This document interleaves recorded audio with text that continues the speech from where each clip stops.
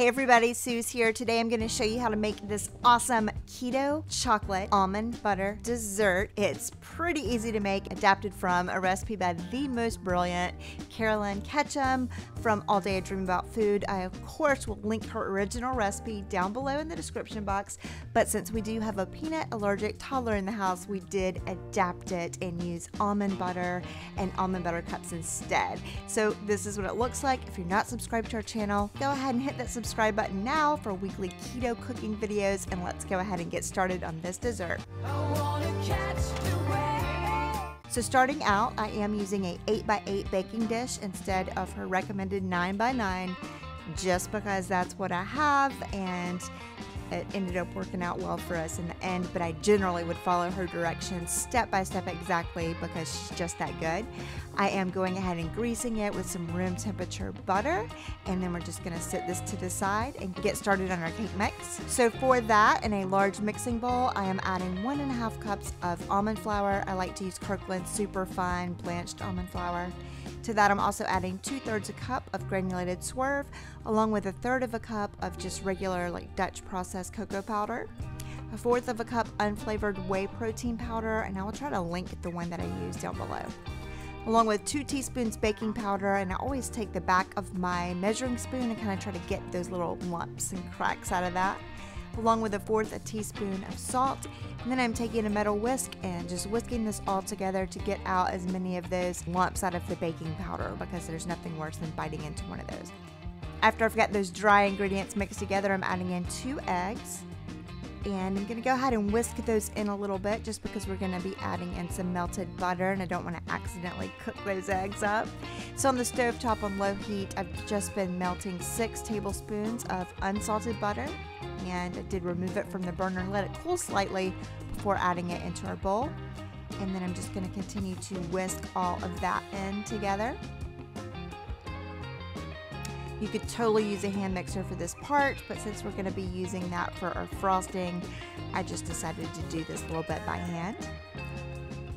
After we've whisked that together well, I'm adding in half a cup of water and half a teaspoon of vanilla extract, moving over to a large spoon, and I'm just going to use the back of that to kind of mash this all together and mix it around until everything is blended well and just a consistent texture throughout. Um, but she does make a note not to over mix this grabbing that greased baking dish. I'm just gonna plop all of our chocolate cake mixture into it. And I do have my oven preheated to 325. And I found that for this particular recipe with this size um, dish, that 25 minutes at 325 worked perfectly for me, but you can play around with that. And I'm just using a spatula to spread that out evenly. And then again, popping it in the oven, 325 degrees, for 25 minutes. While that is baking, I'm gonna go ahead and prep my chocolate for a filling mixture. So for that, I'm just using one ounce of unsweetened baking chocolate. And I'm just using like regular baker's chocolate for this. You could use something fancier if you wanted. And each little rectangle of this represents a quarter of an ounce. So four of them is one ounce. And I'm just using a kitchen knife to chop that down. The smaller you chop this, the quicker and easier it will melt um, over on your stove top. Every time I chop chocolate like this, it reminds me of my mom, like spending hours making homemade chocolate pies every year. All right, I'm also gonna go ahead and prep our almond butter. Just using this Harris Teeter store brand. Look on the back, make sure your only ingredient is almonds if you want the best and cleanest. And of course, it had oil separated at the top. We went ahead and mixed that in already to get started, but this is what I'm using. Now, taking our chocolate cake base out of the oven, I'm just gonna let it cool on a trivet for at least an hour and then get started on our filling. Over on the stove top, after an hour, I went ahead and added a half a cup of unsweetened almond milk. I always buy this in bulk at Kirkland's and it's called non-dairy almond beverage and I use that for everything. And you can just store it unrefrigerated until you open it. works wonders. Now, we are on medium heat, so as soon as that started to bubble just slightly, I cut the heat off and added in our one ounce of chopped unsweetened chocolate and whisked it in a little bit and then let it sit a minute so it can melt. And then you're just whisking that all the way until it's nice and smooth, as you can see here. And then I'm adding to that a third of a cup of that creamy almond butter, along with a fourth of a cup of powdered swerve. And then I'm just gonna whisk this all together until everything is nice and melted and combined really well. Again, the heat is off right now. We are going to reserve a few tablespoons of this um, filling to use for a drizzle garnish later on the top of our cake. But we're going to be pouring the rest of it over our cake because it is a keto poke cake.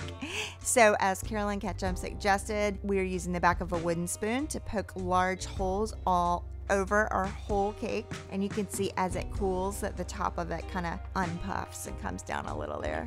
And then I'm just gonna pour everything but like two or three tablespoons of this chocolate filling mixture right on top, mostly aiming for the holes so that that chocolate mixture can soak into those. And then after it soaks in, if you wanna take a spatula and just spread this evenly on top so you kind of have an even chocolate shell, this is how much was left over. I'm gonna stick this pot of chocolate filling back on the stove top with the lid because we're gonna remelt it later.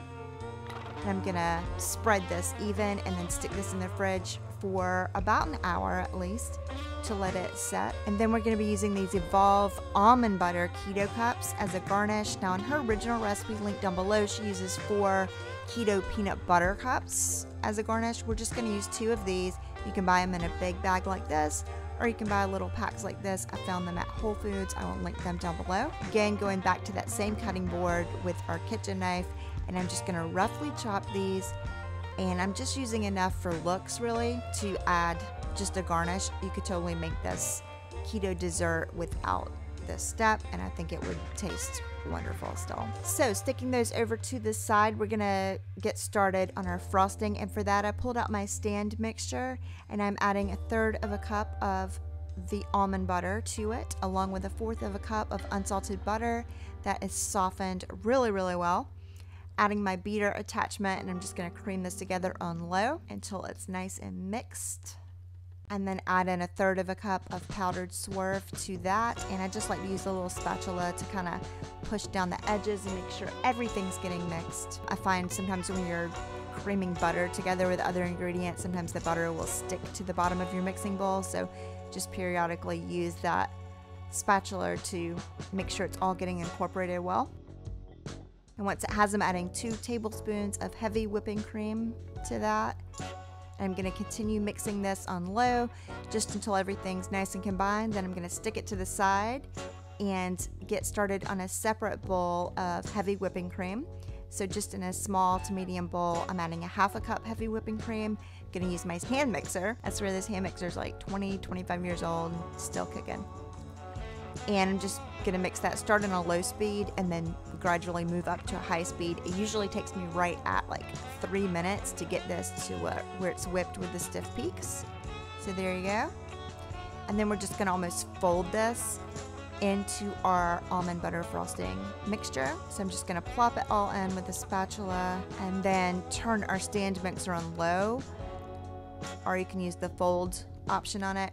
Just to incorporate it a little and then I'm gonna actually take it off and use my spatula to continue mixing it. We don't wanna over mix it. We want it to stay kind of nice and fluffy, but I do wanna make sure that I get it all to like the same color basically. So you'll be able to tell that your heavy cream, whipped cream now, is evenly mixed in. And once it is, we're just gonna take our poke cake out of the refrigerator and go ahead and plop all of that almond butter frosting mixture on top and I'm just using the spatula to evenly spread that all over to frost our keto poke cake.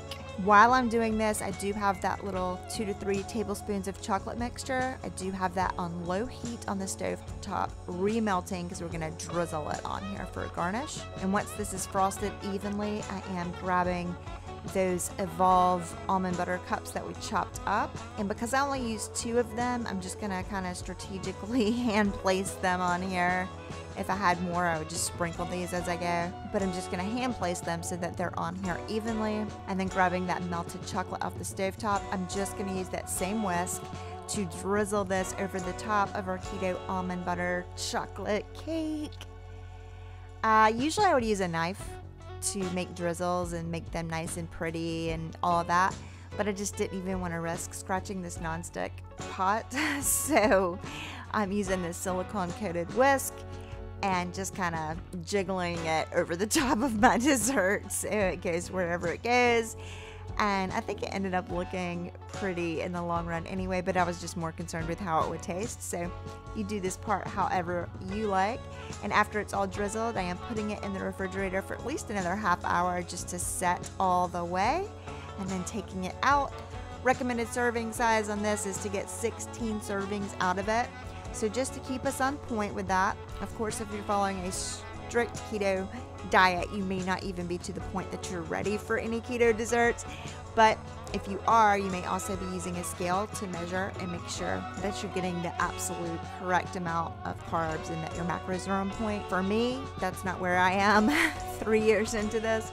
So I'm just making some lines there so that I kind of know where to cut to make 16 servings and then scooping some out the middle and you can see that left quite a mess that first piece generally does. And here it is plated up this was so delicious recipe works great using almond butter i'm sure you could try it with other nut butters but if you're not allergic to peanut butter and peanut butter fits well into your keto diet, check out her original recipe down below and definitely try it that way. I love using almond butter. It does have a little bit less carbs, a little bit more fiber, healthy fats. For me, it just works better overall. And then I find I don't crave it as much either as peanut butter because peanut butter and chocolate is just like such a great combination.